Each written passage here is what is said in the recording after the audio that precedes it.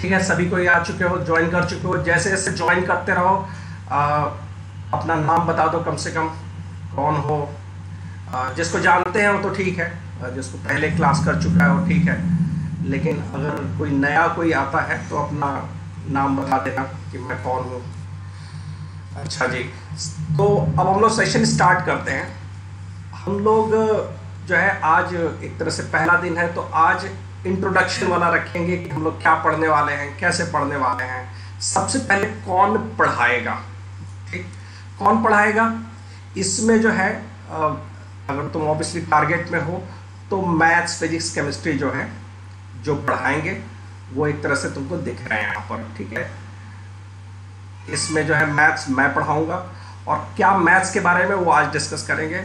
Rahul sir जब उनकी class होगी तो वो बताएँगे फिजिक्स में वो क्या क्या सिलेबस कब तक ख़त्म कराना चाहते हैं और ब्रिजेश सर जो है केमिस्ट्री के बारे में बताएँगे। जो दिख रहे हैं वही लोग पढ़ाएँगे। सबसे बड़ी बात है ये। अच्छा और क्या है कि गेटवे में जो हम लोग पढ़ा रहे हैं पिछले दो तीन साल से आ, तो गेटवे में ही पढ़ा रहे हैं। और एक अलग तरीके का जो डिजिटल तरीके का जो हम लोग पढ़ाने का हम लोग कोशिश कर रहे हैं इसका बहुत बेनिफिट हुआ है बच्चों को। अच्छा फीडबैक है। तो इसी को हम लोग कंटिन्यू करेंगे। तो अब आते हैं कि क्लास कैसी फॉर्मेट होगी। क्लास फॉर्मेट से मेरा मतलब है कि जो हम लोग क्लास में जो पढ़ाते हैं, वो कैसा रहता है? तो पहली चीज़ बता दें कि ये जो फॉर्मेट है, वो डिजिटल है। तुम लोग देखते होगे कि हम लोग जो डायग्राम है, जो क्वेश्चन है, जो थ्योरी है, उसको हम लोग प्रिंटेड फॉर्म में इसको दिखाते हैं यहाँ पर। खासकर जब ऑनलाइन पढ़ाई की बात होती है तो इसमें वो जो सिस्टम होता है कि चलो वाइट बोर्ड पे लिख लिया, उसको रिकॉर्ड करके अपलोड कर दिया, वो इतना इफ़ेक्टिव नहीं होता है। तो जो ऑनलाइन पढ़ाई ऑनलाइन तरीके से ही की जाए तो ज़्यादा उसका बेनिफिट होता है। तो जैसे देखते होगे, बहुत लोग क्या करते हैं क्लास में रिकॉर्ड करके उसको यूट्यूब पे अपलोड कर देते हैं। ठीक है इफ़ेक्टिव भी है, लेकिन ज़्यादा इफ़ेक्टिव अगर उसको डिजिटल तरीके से किया जाए तो वो ज़्यादा इफ़ेक्टिव होता है। अच्छा ये एक पहली चीज़ हो गई। फॉर्मेट जो है डिजिटल होगा। अच्छा बीच बीच में कोई भी सवाल तुम्हारे मन में आए कि अच्छा ये ठीक से समझ में नहीं आ रहा है अच्छा इसको और थोड़ा डिटेल में हम बता दें तो वो चीज़ पूछोगे, ठीक है? ठीक है? अच्छा और फिर दूसरी चीज़ क्या हो गई? क्लासेज जो हैं, वो लाइव हैं और इंटरैक्टिव हैं। इंटरैक्टिव क्लासरूम जैसा नहीं होगा कि हम हम लोग क्लासरूम में बैठे हैं तुरंत हाथ खड़ा कर दिए कि, सर, हमें बता दो। ठीक है? जो हाथ जो खड़ा किए, वो अब तुम्हारा कमेंट है। तुम जाओगे चैट पे लिख दोगे, सर, ये वाला फिर से, सर, इसका आंसर शायद बी नहीं सी आएगा। तो कमेंट के ज़रिए से करोगे, ठीक है? इसको हम लोग बहुत सारे फॉर्मेट में हम लोग पहले भी ट्राई कर चुके हैं। कुछ जूम से कुछ लोग कराते हैं, कुछ लोग और वेबएक्स वगैरह से कराते हैं। बट चूँकि हर तरह के स्टूडेंट हैं कुछ लोग गाँव में रहते हैं, जिसका इंटरनेट थोड़ा बहुत बढ़िया नहीं होता है, कमज़ोर रहता है तो इस वजह से हम लोग यूट्यूब पे करते हैं। यूट्यूब में कम से कम क्या होता है कि थोड़ा कम भी डेटा रहता है, थोड़ा कम स्पीड रहता है तो भी मैनेज हो जाता है। तो सब कुछ सोच समझ कर हम लोगों ने फ़िलहाल ये फैसला किया है कि यूट्यूब से क्लासेस चलाएँगे। फ्यूचर में जब समय और आगे बढ़ जाएगा, कुछ और बेहतर हमें सॉफ्टवेयर मिल जाएगा तो उसका यूज़ करेंगे और जब तक नहीं मिलता है तो यूट्यूब में ही चलेगा। ठीक? इंटरैक्टिव रखेंगे इसको। फिर क्या है? डीपीपी फॉर्मेट अच्छा डीपीपी जो हम लोग जो देंगे डीपीपी इसका मतलब हुआ डेली प्रैक्टिस शीट इसको हम लिख देते हैं डीपीपी कई लोग यूज़ करते हैं ये टर्म इसका मतलब होता है डेली और प्रैक्टिस ज़्यादातर हम लोग डीपीपी ही यूज़ करेंगे. डेली प्रैक्टिस शीट मतलब नाम से ही क्लियर है. आज का आज. ठीक, आज पढ़ाया गया और आज ही उस एक्सरसाइज को करना है तो उसका फ़ायदा होता है।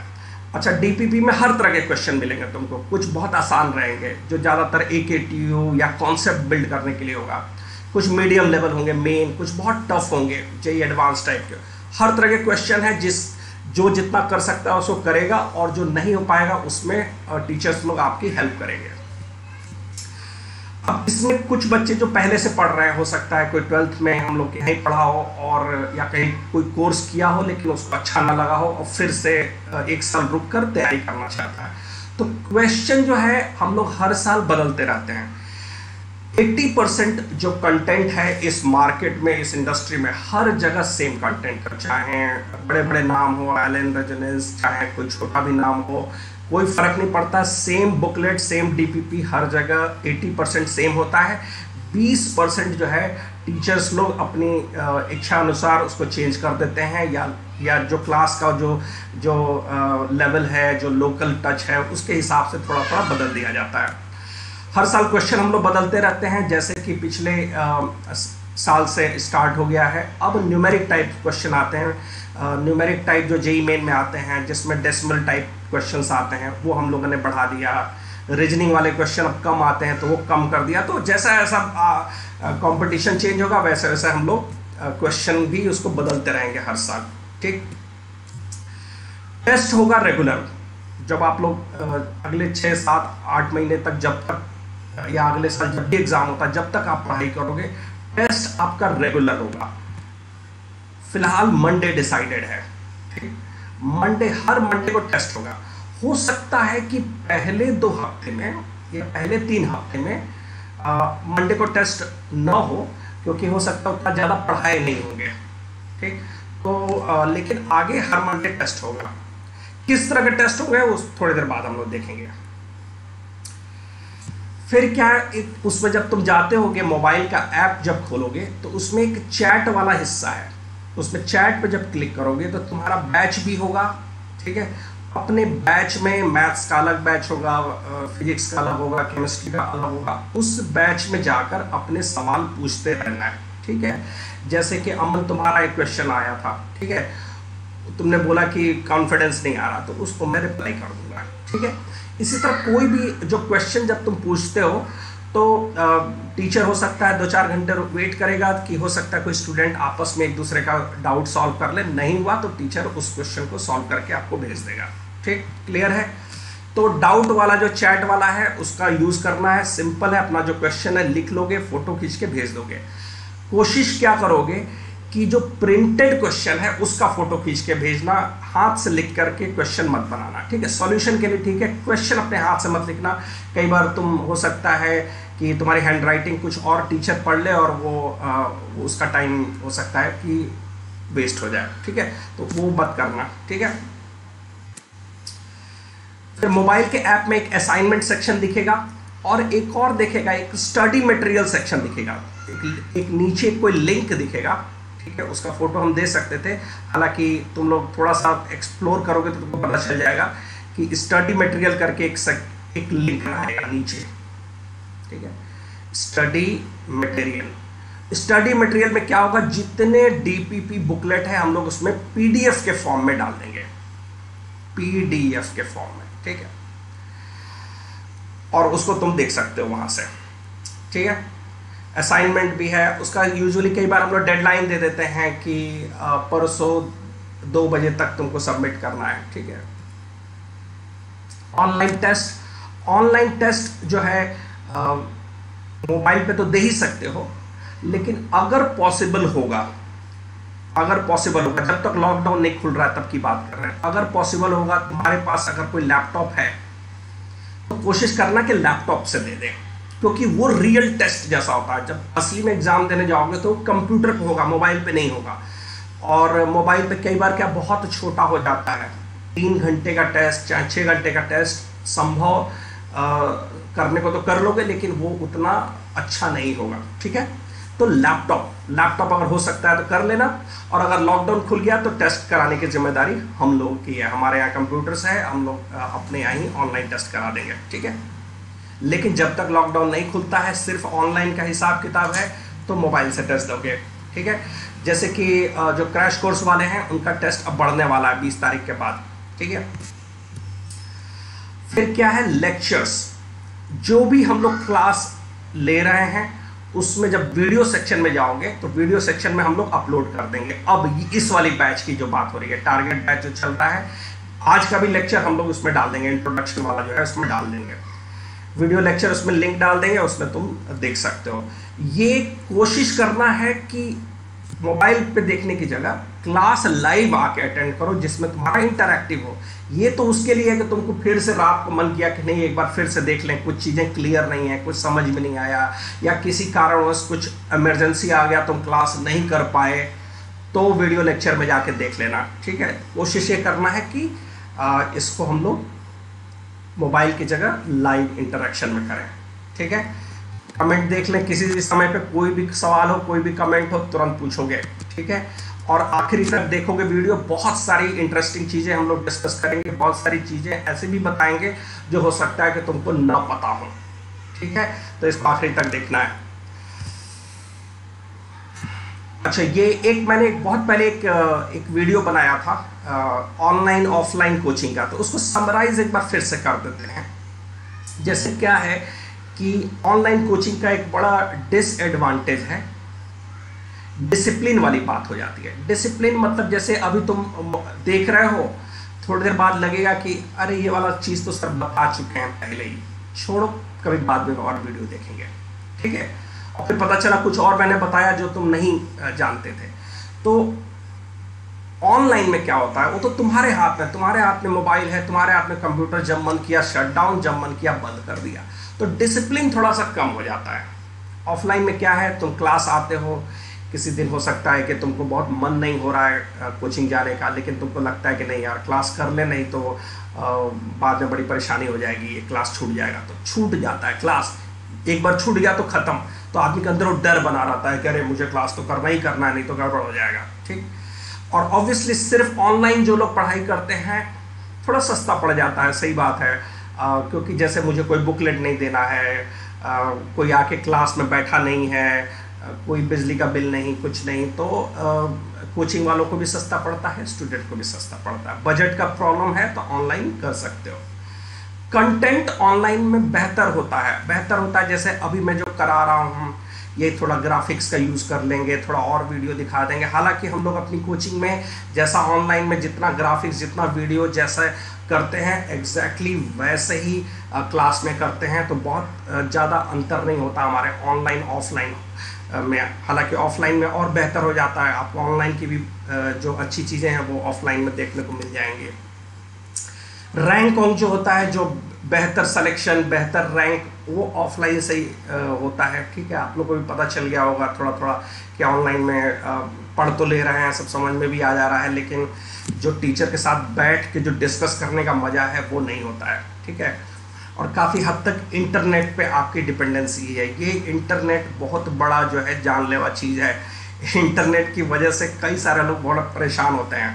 कई बार तो हम लोग क्लास करते हैं और उस दिन पता चलता है कि आज जियो का कुछ प्रॉब्लम हो गया तो क्लास में गड़बड़ी हो गई। तो हम लोग को रीशेड्यूल करना पड़ता है क्लास की। अरे, आज अभी इंटरनेट बहुत ख़राब चल रहा है। तो इंटरनेट पे थोड़ी सी डिपेंडेंसी है। हालाँकि ऑफलाइन में भी होता है। ऑफलाइन में क्या होता है कि बहुत बारिश, बहुत कुछ वेदर ख़राब हो जाता तो उस दिन लोग नहीं आ पाते हैं कोचिंग ठीक है? खूब बारिश हो गई। ठीक है? अच्छा तो अब हम लोग आते हैं असली चीज़, असली मुद्दा है कि ऑनलाइन पढ़ाई करना कैसे है? ये बहुत बड़ा सवाल है और बहुत कंफ्यूजन वाली चीज़ है। क्योंकि फ़िलहाल अगले एक दो महीने या तीन महीने भी कह सकते हैं, तीन महीने भी पता नहीं लॉकडाउन या ये समस्या कब तक रहेगी। ऑनलाइन ही पढ़ाई करना है तो क्यों नहीं इसके साथ समझौता कर लें हम लोग? क्यों नहीं हम लोग समझ लें कि ऑनलाइन बेहतर कैसे पढ़ सकते हैं? ठीक है? तो बेहतर पढ़ने का सबसे पहले एक चीज़ बता देते हैं। कंटिन्यूस ठीक? क्लास में कंटिन्यूटी ब्रेक नहीं होनी चाहिए। तुम शुरुआत से लेकर अंत तक, जब तक क्लास खत्म नहीं होता है, तब तक उस YouTube लिंक उस YouTube वीडियो को बंद मत करना। ठीक है? ये नहीं कि उसको पॉज कर दिया, चलो अब आज शाम को देखेंगे, चलो अब रात रात को देख लेंगे, कभी और देख लेंगे। ये सब नहीं करना, जैसे सोचना कि तुम क्लास में ही बैठे हो, शुरू से अंत तक उसको करोगे तो उसका फ़ायदा ज़्यादा होगा, एकदम क्लास वाली फीलिंग आएगी। ठीक? अच्छा क्लास में जब तुम बैठते होगे पढ़ाई करने के लिए तो एक नोटबुक लेके आते होगे पेन कई लोग दो कलर का पेन यूज़ करते हैं, एक हेडिंग के लिए, एक उसके लिए, ठीक है? ये तुम्हारी सुविधा के ऊपर है। जैसे क्लास में नोट्स बनाते थे, एकदम वैसे ही क्लास में नोट्स बनाना है नोटबुक और पेन के साथ आना है। बिस्तर पर बैठे बैठे वीडियो देखना ऐसे नहीं हो पाएगा पढ़ाई ठीक? बात समझ में आ रही है? बैठ के कॉपी किताब के साथ बैठना है, ठीक है? कॉपी किताब के साथ बैठना है। ये चीज़ समझ में आई? अच्छा। फिर क्या है? एड देखते होगे बड़ी बड़ी कुछ कभी भी पढ़ाई करें, ठीक है? जिनके इरादे बुलंद हैं, वो कभी भी पढ़ सकते हैं, कहीं भी पढ़ सकते हैं, कार में बैठ के पढ़ सकते हैं और हवाई जहाज़ में बैठ के पढ़ सकते हैं। इस तरह का कुछ भी नहीं है। कहीं भी नहीं पढ़ाई कर सकते हो, ठीक है? स्केड्यूल के साथ पढ़ना है और कभी भी नहीं पढ़ाई करना है। पढ़ाई कब करना है? अगर मेरी क्लास सुबह 11 बजे है तो 11 बजे से लेके एक बजे तक की क्लास, उसी वक्त क्लास करना है, ठीक है? नॉट एनी टाइम कभी भी नहीं पढ़ना है। कभी भी पढ़ने के चक्कर में तुम्हारा डिसिप्लिन कोई स्केड्यूल कोई टाइम टेबल ही नहीं बन पाएगा, ठीक? अच्छा ये एक चीज़ बात समझ में आ रही है। अच्छा और क्या है भाई? कभी देखा है तुम लोग YouTube पे तुम कुछ सोचे कि चलो आज जाते हैं YouTube पे इंटीग्रेशन के बारे में कुछ पढ़ते हैं। YouTube खोला मोबाइल पे इंटीग्रेशन पढ़ा। इंटीग्रेशन खत्म हुआ तो कुछ और एक लिंक आ जाता है कि अच्छा ये भी देख सकते हैं आप। इंटीग्रेशन से संबंधित है। तो इंटीग्रेशन में क्लिक किया तो कुछ दूसरे टाइप का इंटीग्रेशन आ गया कि हिंदू, मुस्लिम कैसे इंटीग्रेट होंगे, आपस में कैसे एक साथ रह सकते हैं। फिर उसके बाद कुछ और गाने चलने लगे, फिर गाने चलने लगेंगे, फिर म्यूज़िक चलने लगा, फिर यूट्यूब में तुम एक लिंक से दूसरे लिंक, दूसरे से तीसरे, पता चला कि चार पाँच घंटे कम कहा निकल गए, कुछ पता ही नहीं चला। ये होता है चेन यूट्यूब में चेन से बचना है। एक वो जो रिकमेंडेड आता है ना, हम लोग क्लास करते हैं कि ये भी देख सकते हो, ये भी देख सकते हो, इस टीचर का भी देख सकते हो, उस टीचर का भी देख सकते हो। तो पता चला जो पढ़े वो समझ में तो आया ही था तुमको, अब और भी कुछ पढ़ लिए जो समझ में और कंफ्यूज हो गए। नहीं करना है। जो पढ़ना है, जो जो पढ़ लिया, काम खत्म लेक्चर खत्म, बंद। यूट्यूब का कहानी बंद हो जाएगा। अच्छा और एक चीज़ है, अगर संभव होगा तो करना। जब हम लोग क्लास करेंगे तो कितनी देर क्लास करेंगे? दो घंटा क्लास करोगे? ठीक। हो सकता है कि एक, दो, तीन महीने बाद तीन, चार घंटा हो जाए क्लास तीन, चार घंटे ऑनलाइन पढ़ाई। और फिर उसके बाद पीडीएफ भी ऑनलाइन मतलब छः सात, आठ घंटा क्या कंप्यूटर या मोबाइल पे तुम देखोगे तो तुम्हारी आँखों में दर्द होगा कि नहीं होगा? क्या आँखें दर्द होती हैं? बहुत ज़्यादा मोबाइल यूज़ करने से क्या आँखें दर्द होती हैं? थोड़ा कमेंट पे लिखोगे कि क्या बहुत देर तक मोबाइल पर तीन, चार, पाँच घंटे तक मोबाइल देखते रहो तो क्या थोड़ा आँखों में दर्द होता है कि नहीं? हाँ या ना? बस कमेंट में लिखोगे। मैं इंतज़ार कर रहा हूँ तुम्हारे कमेंट का। मैं जनरली सर्वे करना चाह रहा हूँ, देख रहा हाँ।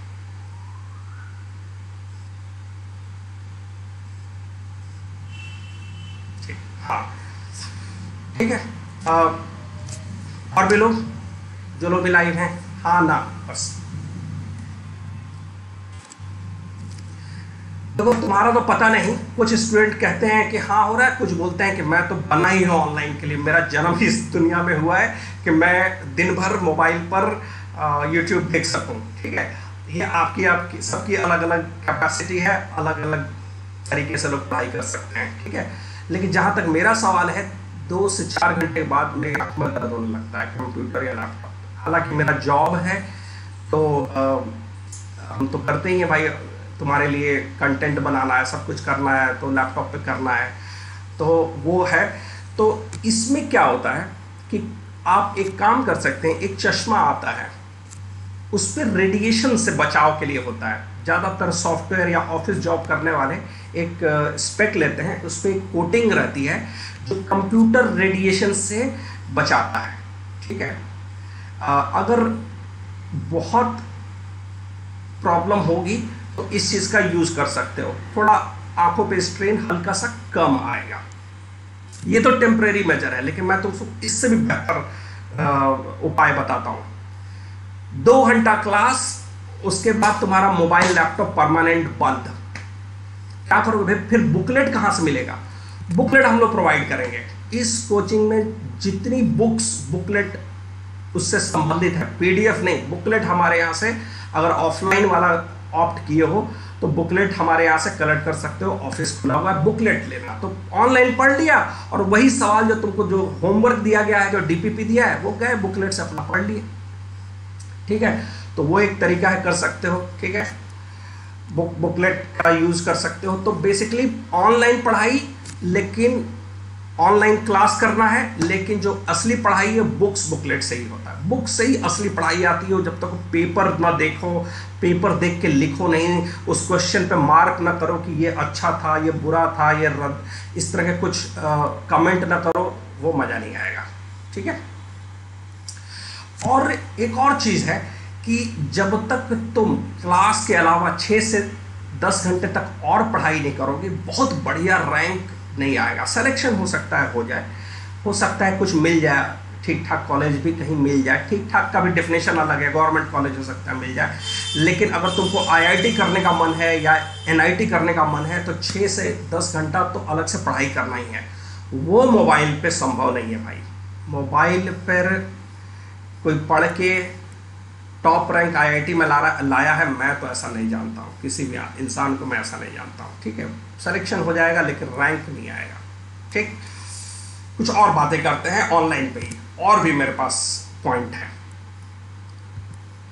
क्लास जब ऑनलाइन कर रहे हो यूट्यूब वाला तो ऐसे पढ़ो कि ऑफलाइन ही है। मतलब कि अगर तुम वहाँ से हिल गए अगर वहाँ से क्लास क्लास बंद कर दिए तो टीचर गुस्सा हो जाएँगे। ये समझ के अगर पढ़ाई करोगे तो बड़ा अच्छा रहेगा। नो डिस्ट्रैक्शन मतलब कि उसी रूम में टीवी चल रहा है, उसी रूम में तुम भी मोबाइल लेके बैठे हो, और उसी, या अगल बगल पता चला कि तुम्हारे चाचा और चाची जो है गपिया रहे हैं, उसी के बगल में तुम ऑनलाइन पढ़ाई कर रहे हो, ऐसे मत करना, ठीक है?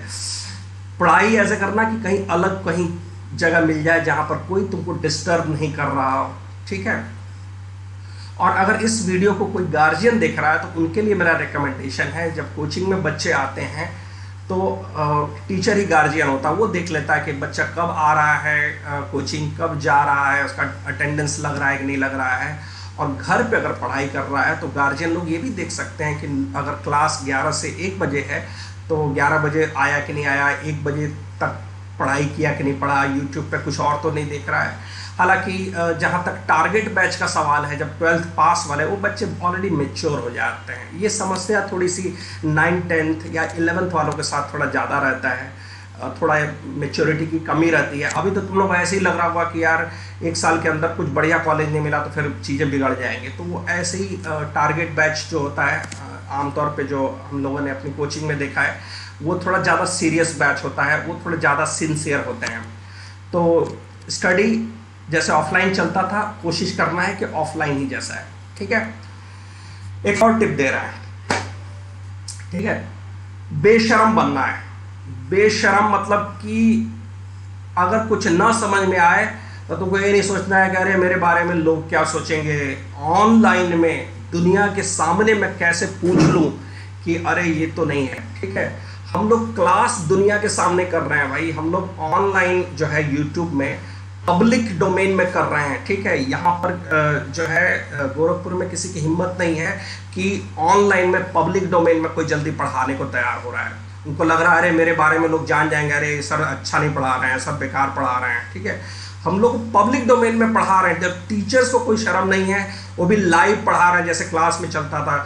ठीक? तो तुम लोग को भी बेशरम बनना। तुमको तुरंत पूछना है कि, अरे, सर, ये वाला कॉन्सेप्ट फिर से, ये वाला कॉन्सेप्ट में ये कैसे होगा? मुझे तो लग रहा है कि ये ये ऊपर नहीं, ये नीचे जाएगा। ठीक? कुछ भी। कॉन्फिडेंट रहना है। अपने आप पर कॉन्फिडेंस रखना है कि हाँ मैं कर सकता हूँ। ठीक है? तो बेझिझक सवाल पूछोगे। ठीक? ठीक।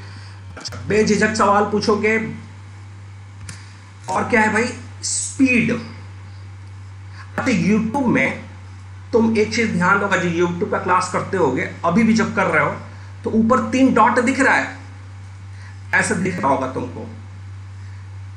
कुछ ऐसे, एक डॉट एक डॉट और एक डॉट। ऐसे यूट्यूब पे दिख रहा है। ये मैं देख लू कि मैं अरे, मेरा डॉट तो छुप गया। ठीक है। ऐसे करके तीन डॉट होगा। तीन डॉट दिख रहा है यूट्यूब पे। तो वो तीन डॉट से तुम क्या कर सकते हो? जब क्लास चल रही है तो चल रही है, ठीक? लेकिन कई बार तुमको मन होता है कि नहीं, एक बार फिर से क्लास कर लेते हैं। उस क्लास में जो है बीच में एक सवाल मुझे ठीक से क्लियर नहीं हुआ था उस वक्त। तो ये बहुत बड़ी सुविधा है तुम्हारे साथ कि उस चीज़ को तुम फिर से देख सकते हो। जब हम लोग मोबाइल ऐप में आ, उस यूट्यूब क्लास को फिर से डाल देते हैं तो तुम जाके तीन डॉट पे जाके जब दोबारा देख रहे हो तो उसमें स्पीड बढ़ाने का भी होता है। उसको दो गुना स्पीड से कर सकते हो तीन गुना स्पीड से। तो हो सकता है कि तुमको अब जो दो घंटे की क्लास थी, दो घंटा ना देना पड़े। हो सकता है चालीस पचास मिनट में तुम खत्म कर लो। जल्दी जल्दी जल्दी जल्दी देख लिया रिवीजन जैसा, उसको रिवीजन जैसे करते हैं। तो यूट्यूब में स्पीड बढ़ा सकते हो। ठीक? दूसरी चीज़ होती है, जब बहुत ज़्यादा क्लास यूट्यूब पे हो जाएगा और या मान लो किसी कारणवश तुम्हारा डेटा खत्म होने वाला है तो तुम डेटा को भी कंट्रोल कर सकते हो। उसी डॉट पे जाओगे उस पर रेजोल्यूशन होता है। रेजोल्यूशन समझ रहे हो? कि कितना हाई क्वालिटी में देखना है, ठीक? भाई, जितना हाई क्वालिटी में देखोगे रेजुलेशन में, एकदम एचडी में तुमको देखना है कि एकदम हाई डेफिनेशन ठीक है? वो जो हाई डेफिनेशन में देखना है या 720 वाले में देखना है, जितना हाई डेफिनेशन में देखोगे ऑब्वियसली उतना अच्छा फील होगा, मज़ा आएगा। लेकिन डेटा भी उतना ही खर्च होगा। ठीक है? तो तुम्हारा अगर डेटा कम हो गया तो किसी समय में तुम चाहोगे तो उसके क्वालिटी को थोड़ा सा कम कर दोगे। तो ऐसा नहीं होगा कि तुम उस क्लास को पढ़ नहीं सकते हो। क्वेश्चन तुमको दिखना बंद हो जाएगा, कुछ नहीं होगा। बस उतना शार्प इमेज नहीं दिखेगा। तो चाहोगे तो तुम डेटा को कंट्रोल कर सकते हो, ठीक है? वो भी एक यूट्यूब में है, तुम लोग देख ही लोगे, ठीक है? दूसरी चीज़ है कि बहुत सारे लोग ऐसा भी इस साल खासकर डिसाइड करेंगे कि यार मैं सिर्फ़ ऑनलाइन ही करूँगा, मैं ऑफलाइन जाऊँगा ही नहीं। मैं कोरोना से पूरी तरह से बच के रहना चाहता हूँ कोई बीमारी नहीं चाहता हूँ इस साल, मैं सिर्फ़ ऑनलाइन पढ़ाई करूँगा। बिल्कुल कोई प्रॉब्लम नहीं है, आप चाहोगे तो वो भी कर सकते हो। लेकिन उसमें एक चीज़ समझ जाना कि आप जो है, इंसान जो होता है बाई नेचर सोशल होता है, उसको दो चार लोगों से मिलना होता है।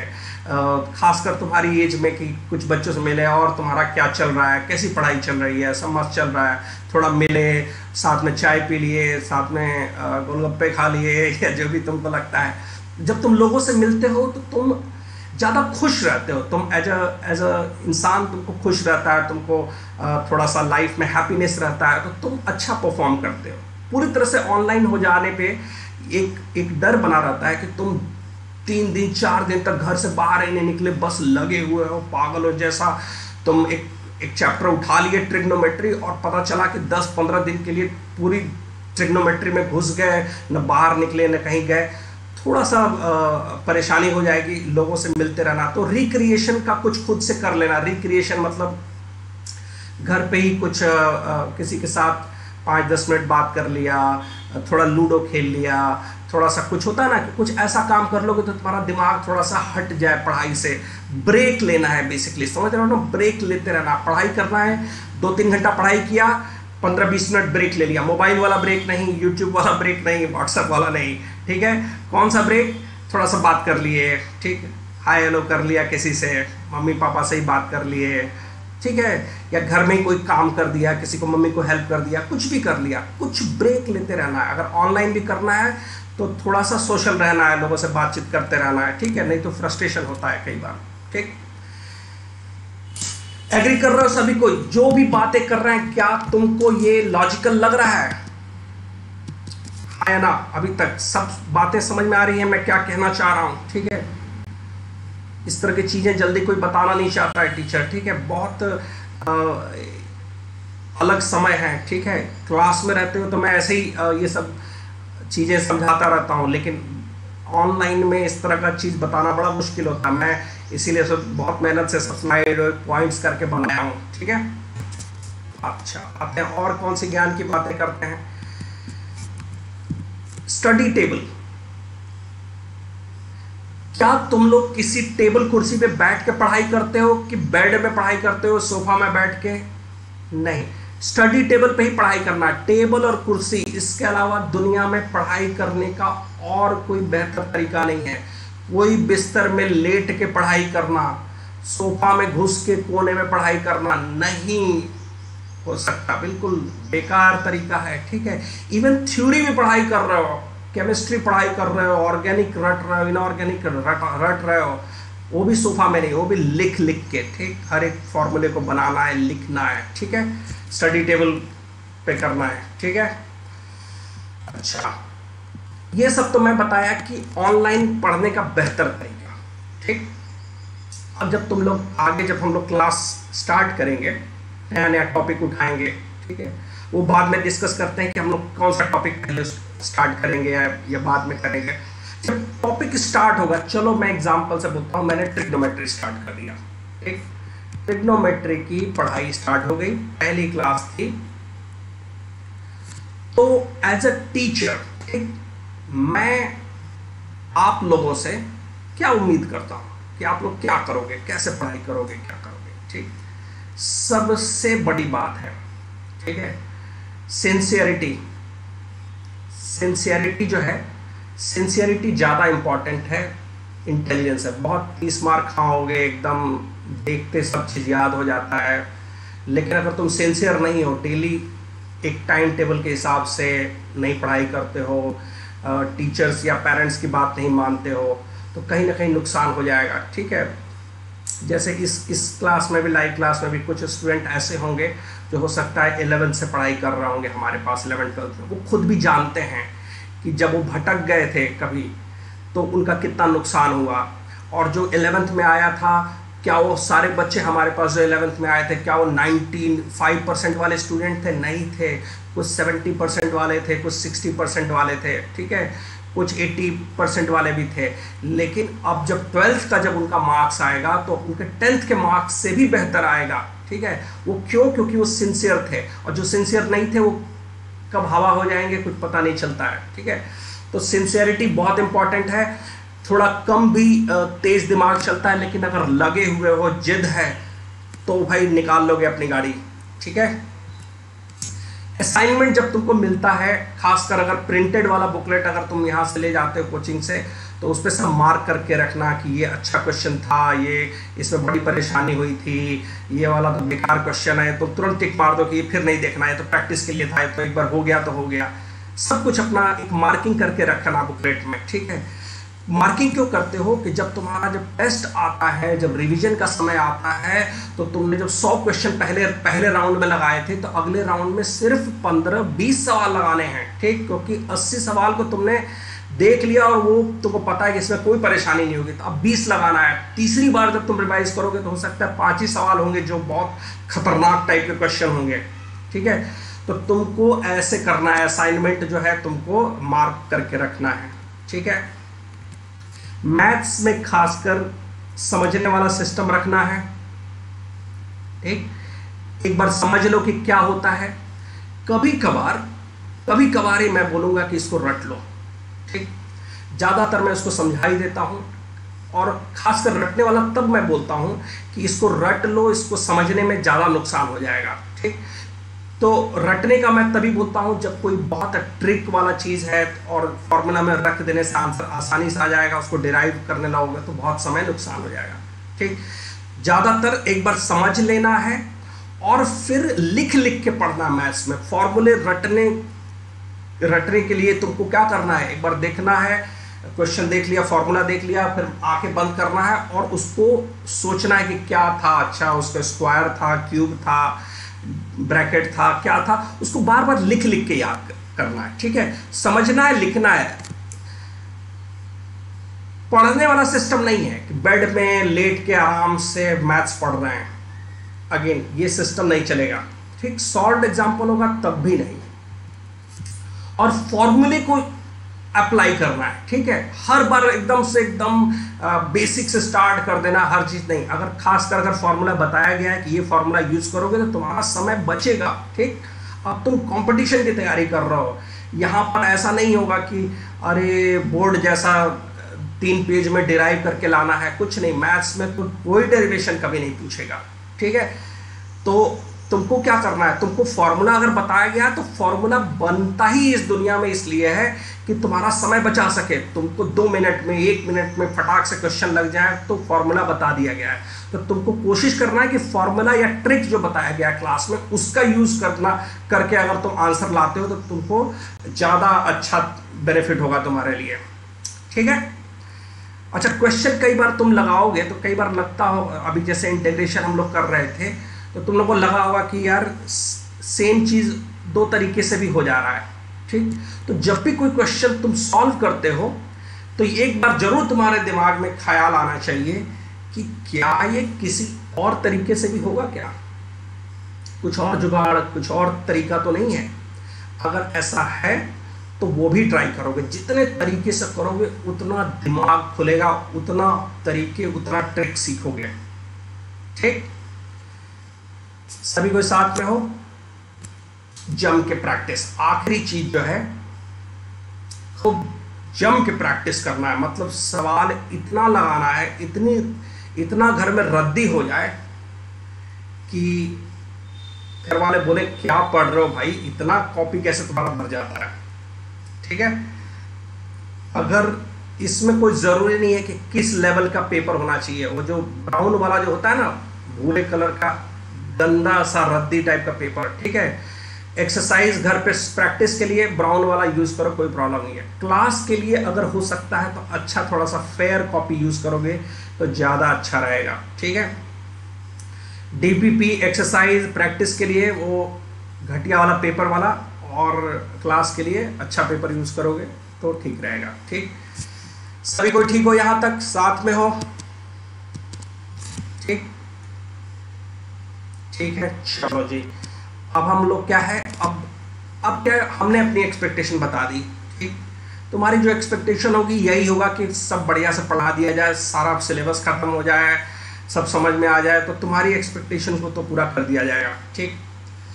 अब आते हैं नई चीज़। टेस्ट टेस्ट होगा भाई टेस्ट बिना कैसे पता चलेगा कि तुम्हारा प्रैक्टिस किया हो रहा है। और टेस्ट से नहीं बचना है। बहुत सारे लोग क्या करते हैं अच्छा अभी तैयार नहीं है। इस बार टेस्ट नहीं देते हैं, अगली बार देंगे। अगली बार थोड़ा तैयारी हो जाएगी, तब करेंगे। कोई फ़र्क नहीं पड़ता। जब टेस्ट हो तो टेस्ट को तो ज़रूर दो। कम से कम तुम्हें यह तो पता चल जाएगा कि उस वक्त कैसा था, ठीक? हमारी कोचिंग में जितने भी टेस्ट होंगे, वो बोर्ड के मार्क्स में नहीं जुड़ेंगे, ठीक है? उसका तुम्हारे बोर्ड से कोई लेना देना नहीं है, ठीक है? तो जो टेस्ट होंगे सब्जेक्टिव टेस्ट जो जो फाउंडेशन के लिए कराया जाता है, वो बोर्ड के इरादे से कराया जाता है, लेकिन बोर्ड में मार्क्स हमारे टेस्ट के नहीं जोड़ता है तो कोई इसमें डरने की बात नहीं है, ठीक है? टेस्ट सारे देने हैं हम लोग के। पहला होता है C R T C R T से मतलब हो गया तुम्हारा कि क्लास रिवीजन टेस्ट ठीक? Class revision test class revision test को हम लोग सीआरटी बोलते हैं। मतलब कि जो टॉपिक चल रहा है, उस हफ़्ते के, उसी हफ़्ते का जो टॉपिक है, उसी संबंधित पूछा जाएगा। टॉपिक स्पेसिफिक टेस्ट होता है। छोटे टेस्ट होते हैं कॉन्सेप्ट सीखने के लिए, ठीक? सीआरटी वाले जो टेस्ट होते हैं, ये सिर्फ़ प्रैक्टिस के लिए होते हैं। ये ज़्यादातर हम लोग गार्जियन के साथ डिस्कस नहीं भी करते हैं। अनलेस कि गार्जियन आके पूछना चाहता है कि जैसे सीआरटी में कैसे नंबर आते हैं तो डिस्कस करते हैं। लेकिन हम लोग उसका बहुत जो है डिटेल में उसको डिस्कस नहीं करते हैं। ठीक है? JEE Main JEE Main pattern पर कुछ टेस्ट होते हैं। ठीक है? जो तीन घंटे वाले कंप्यूटर पर जो टेस्ट होते हैं, वो होगा। वो ज़्यादातर हर दो हफ़्ते में होता है लगभग, ठीक? जब जेई मेन का एग्ज़ाम नज़दीक आता है तो हर दूसरे तीसरे दिन होने लगेगा। लेकिन ऐसे हर हफ़्ते में एक बार, नहीं, हर दो हफ़्ते में एक बार करते हैं। जेई एडवांस वाला जो है, ये भी हर दो हफ़्ते, तीन हफ़्ते में करते हैं। ज़्यादातर ये टेस्ट जनवरी से मई तक इसको बढ़ा दिया जाता है, ठीक है? तो ये जेई एडवांस पैटर्न वाला जो है जेई एडवांस आईआईटी वाला जो टेस्ट है, ठीक है? इसके अलावा यूपीटीयू छोटे मोटे जो टेस्ट हैं, वो सब भी कराएँगे, लेकिन वो एग्ज़ाम नज़दीक आता है तो। जैसे अब यूपीटीयू का डेट ही नहीं आया है लेकिन क्या होगा कि जब जुलाई उलाई का टाइम आएगा तो यूपीटीयू के भी टेस्ट होंगे। हालाँकि ऑफलाइन होते थे, इस साल हम लोग कहीं ऑफलाइन की जगह ऑनलाइन कर दें, ठीक? तो टेस्ट से संबंधित कोई क्वेश्चन, इसके पहले हम दूसरे वाले स्लाइड पे पहुँच जाएँ। टेस्ट से संबंधित कोई सवाल है तो अभी पूछ लो।